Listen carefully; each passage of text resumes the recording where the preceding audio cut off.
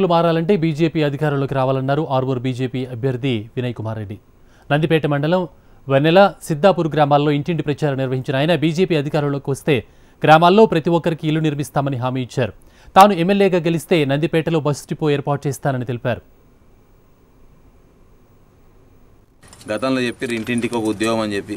ఒక్క ఉద్యోగం కూడా ఇప్పియలే నల్ల దింపితే నీళ్ళు అన్నారు నల్ల దింపితే నీళ్ళు అన్నారు ఒక నీళ్ళ లేదు ఒక బకెట్ లేదు. ఎన్ని బాధలు ఉన్నాయంటే అన్ని బాధలు ఉన్నాయి అన్నిటికీ కారణం ఈ కాంగ్రెస్ వాళ్ళు ఈ టీఆర్ఎస్ వాళ్ళు. ఈ టీఆర్ఎస్కి ఏదైనా ఓటైతే మా బతుకులు బాగుపడతాయేమో అనుకున్నారు.